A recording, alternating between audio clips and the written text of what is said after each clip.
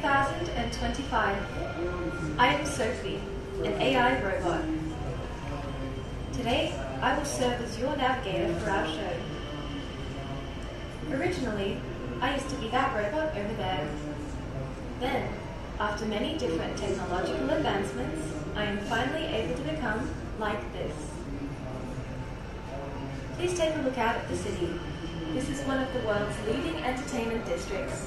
And now, we would like to present to you our new and immersive show, Acrons.